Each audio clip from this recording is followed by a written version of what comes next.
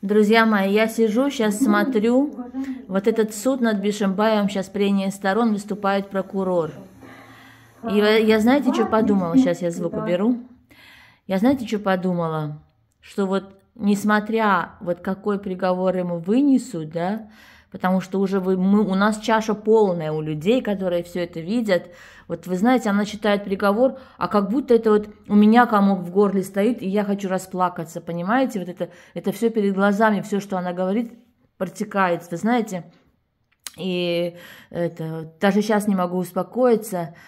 Никто не спокоен, весь мир уже. Но я, знаете, что вам хочу сказать? Какой бы они приговор ни вынесли, даже если они ему вынесут очень мягкий приговор, и даже если он через какое-то время по хорошему поведению выйдет на, на, назад на свободу, потому что там тоже говорят, нету никакой правды, то ему долго не прожить. Ему легче дольше прожить пожизненном заключении или в камере, потому что обязательно его убьют на, на свободе.